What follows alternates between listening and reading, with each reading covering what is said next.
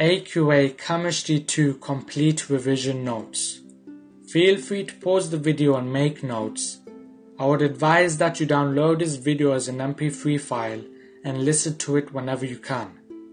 Make sure you understand what is being said. This is the most important thing. Alchemists may have experimented, but John Dalton was one of the first true chemists. John Dalton was the first modern scientist to use the idea that everything was made of tiny particles, atoms. Elements cannot be broken down into simpler substances as they are made from one type of atom only. There are just over 100 different kinds of atom, so there are just over 100 different elements. Compounds are made when atoms of different elements chemically join together. Compounds have different properties from the elements from which they are formed. Noble gas electron structure is very stable. That's why they are so unreactive. Chemical reactions occur when other atoms try to achieve the stable noble gas structure. Metals have electrons in the outer shell that can be lost to form positive ions with a stable electron configuration. Nonmetals gain extra electrons to form negative ions with a stable electron configuration. Metals and nonmetal ions can join together to make strong ionic bonds to form ionic compounds.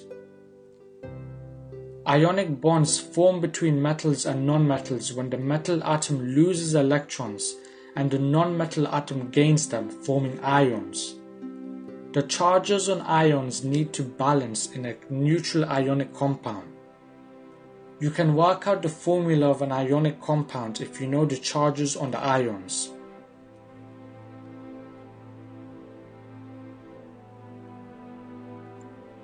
Molecules form from nonmetal atoms when pairs of electrons are shared between the atoms. The bonds holding the atoms together are called covalent bonds. Some elements form molecules on their own. Most molecules are compounds. We use different models to show covalent bonds for different purposes. Carbon and silicon dioxide form giant covalent molecules. Metals have loose outer electrons which give rise to their properties. These electrons become delocalized in the metallic structure. Metals conduct heat and electricity because of their delocalized electrons. The delocalized electrons also explain why metals are strong yet can be easily shaped. There are weak forces between molecules. When substances made from molecules are melted or boiled, it is the weak forces between molecules that are overcome. The covalent bonds themselves do not break. Substances made from simple molecules have low melting and boiling points. Substances made from simple molecules do not conduct electricity because molecules are neutral. Ionic compounds are made up of positive and negative ions in a giant lattice. There are strong electrostatic attractions between the positive and negative ions, so ionic compounds have high melting points. Ionic compounds conduct electricity when molten or dissolved because the ions can move. Diamond, graphite and silicon dioxide are examples of giant covalent substances. Giant covalent substances are made of a giant network of atoms joined by covalent bonds. Giant covalent substances have high melting points due to the need to bring, break covalent bonds. Diamond and graphite have different properties due to differences in the way the atoms are joined together. Carbon can also form fullerenes, which are molecules made of linked rings of carbon atoms. New uses are being found for fullerenes. Metals conduct heat and electricity because their delocalized electrons can move through the structure. Metals can be bent and hammered into shape because the layers of atoms can slide over each other. Pure metals are too soft to be useful for most purposes.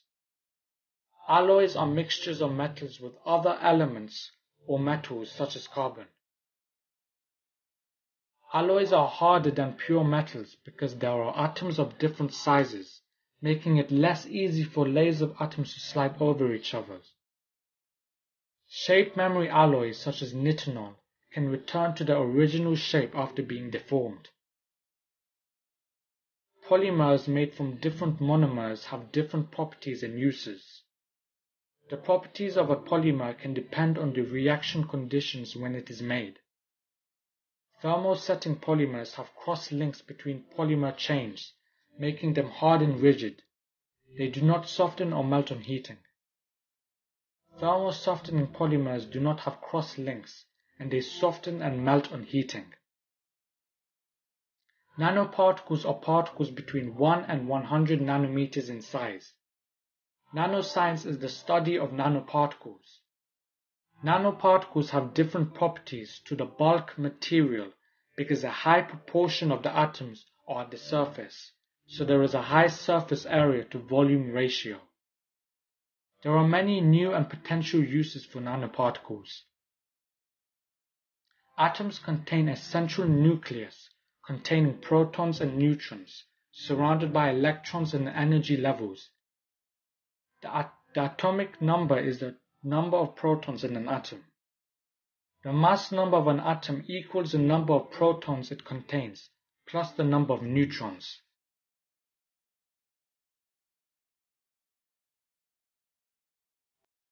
Isotopes are atoms of the same element because they have the same number of protons with a different mass because they have a different number of neutrons.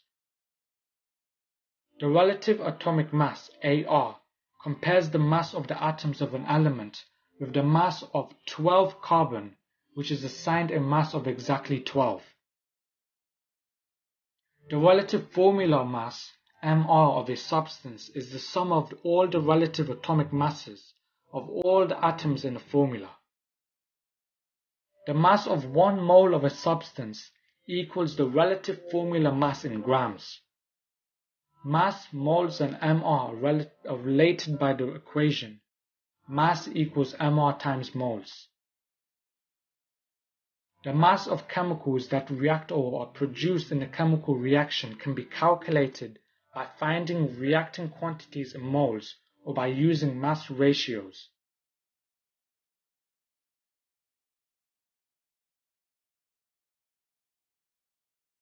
In practice, Reactions do not give as much product as expected.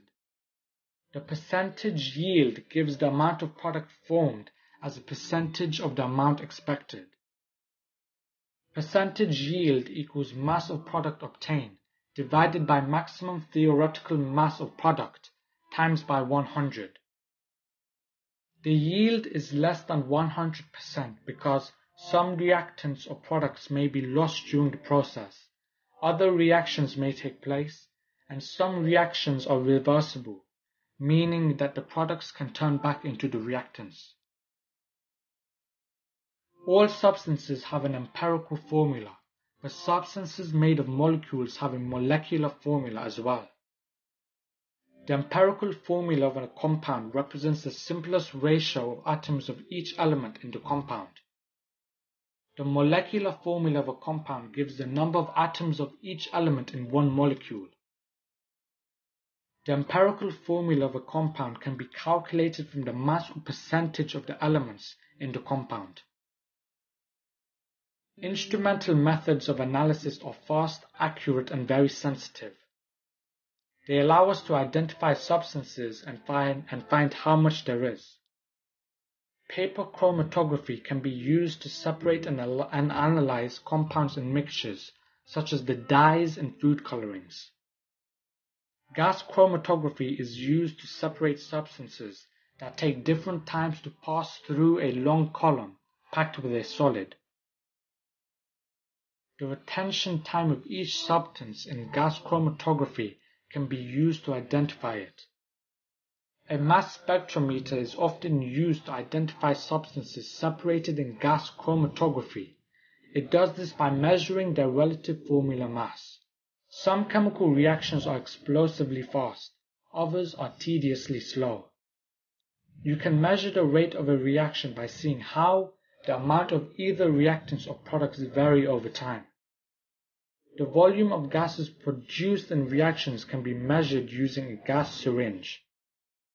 As gas escapes into the air, gas production can also be measured by mass loss in the apparatus. For chemicals to react, their particles have to collide with enough energy to break the existing bonds. The minimum energy for reaction is called the activation energy for the reaction. At higher temperatures, particles have more energy, so reactions usually go faster. To find the rate of a reaction, divide what happens by how long it takes. Amount of reactant used divided by time, or amount of product formed divided by time. For solutions, if you increase the concentration, you increase the rate of reaction. For gases, if you increase the pressure, you increase the rate of reaction. Reactions involving solids take place at surfaces. To make a reaction go faster, increase the available surface area by making the pieces smaller. Catalysts speed up reactions without being used up themselves. Catalysts work by lowering the activation energy needed for reaction. Transition metals or their oxides often make good catalysts. Fuels contain stored energy which is released when they burn. Reactions that give out energy to the surroundings are called exothermic reactions. Many exothermic reactions such as burning need a kickstart of energy from a spark or a match. Many reactions require a continuous supply of energy to make them happen. They are called endothermic reactions which take in energy from the surroundings. Photosynthesis is an endothermic process. Electrolysis splitting a compound apart using electricity is also endothermic. Past photosynthesis is responsible for the energy stored in fossil fuels. In reversible reactions, one direction is exothermic, the other is endothermic. The amount of energy transferred is the same in each direction. Respiration is the exothermic back reaction of endothermic photosynthesis.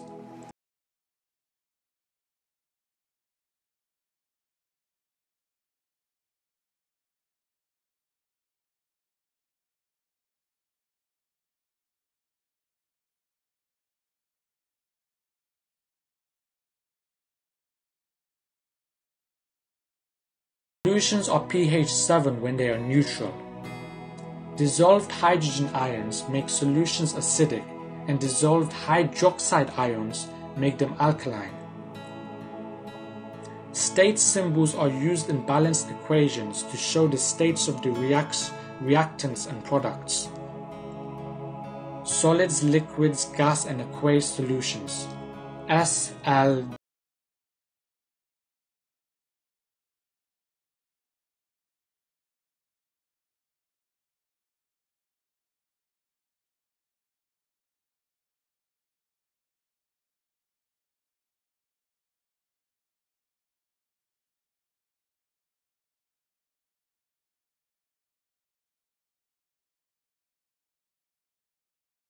Soluble salts can be made by reacting an acid with an insoluble base, such as a metal oxide.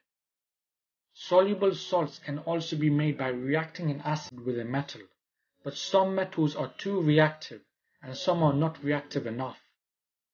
Salt solutions may be crystallized to produce a solid salt.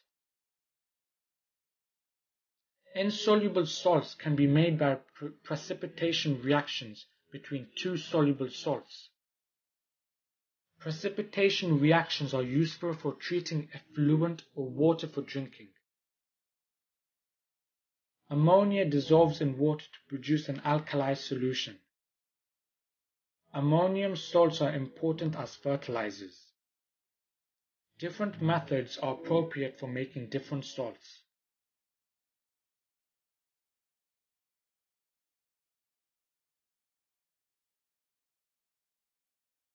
Electrolysis is the decomposition of an ionic substance into elements using an electric current.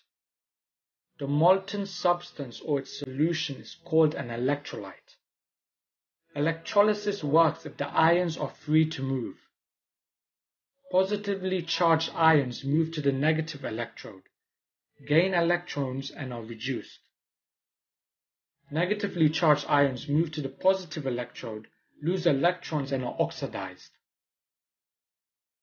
During electrolysis of solutions containing ions, hydrogen is produced at the negative electrode unless the solution contains ions of a metal less reactive than hydrogen.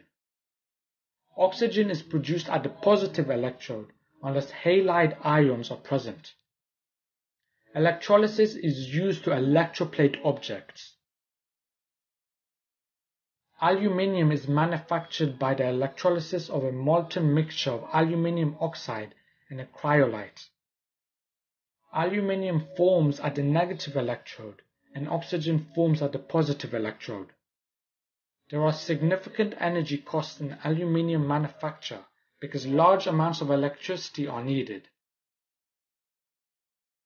The electrolysis of sodium chloride solution produces hydrogen, chlorine and sodium hydroxide solution. These are important materials for the chemical industry. And that's about it. I did a video on C1 and C2 was covered now, so C3 shall be coming soon. And in the meantime, good luck with your exams.